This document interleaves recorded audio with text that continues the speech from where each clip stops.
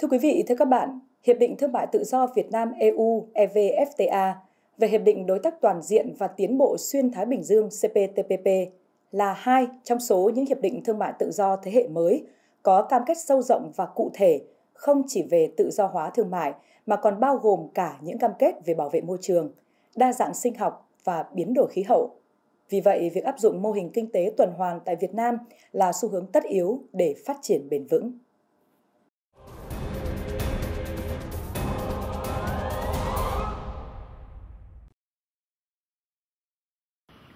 Năm 2022, Chính phủ đã ban hành quyết định số 687 QĐ-TTG phê duyệt đề án phát triển kinh tế tuần hoàn ở Việt Nam.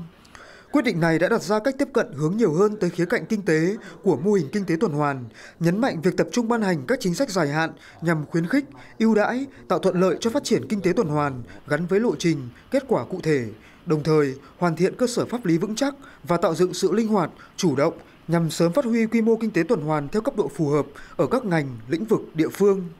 Bộ Công Thương được giao phối hợp với Bộ Kế hoạch và Đầu tư, Bộ Tài nguyên Môi trường, nghiên cứu, xây dựng, hoàn thiện hệ thống tiêu chí về kinh tế tuần hoàn, xây dựng các mô hình kinh tế tuần hoàn, thúc đẩy sản xuất và tiêu dùng bền vững, sử dụng năng lượng tiết kiệm và hiệu quả, xây dựng danh mục và hướng dẫn triển khai các giải pháp kỹ thuật hiện có tốt nhất, kinh nghiệm quản lý môi trường tốt nhất cho các ngành công nghiệp theo điều kiện quốc gia và mức độ phát triển của khoa học, công nghệ, chủ trì trao đổi, phối hợp với các đối tác nhằm tạo thuận lợi thương mại, công nhận lẫn nhau cho các sản phẩm hàng hóa và dịch vụ từ mô hình kinh tế tuần hoàn.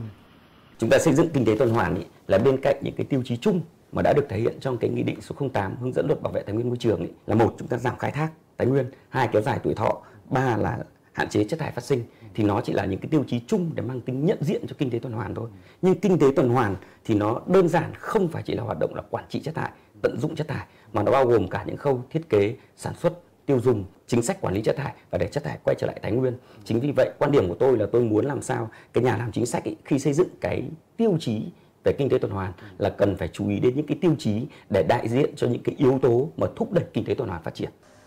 Theo các chuyên gia về môi trường, việc phát triển kinh tế tuần hoàn tại Việt Nam nên có cách tiếp cận mở, hướng nhiều hơn đến tạo dựng không gian và thuận lợi cho phát huy hiệu quả kinh tế trên cơ sở tăng cường hợp tác quốc tế cũng cần sử dụng hiệu quả tri thức nhân loại, các thành tiệu của cách mạng công nghiệp 4.0 và chuyển đổi số, các nguồn lực cần thiết từ khu vực kinh tế tư nhân, các tổ chức quốc tế và các đối tác nước ngoài.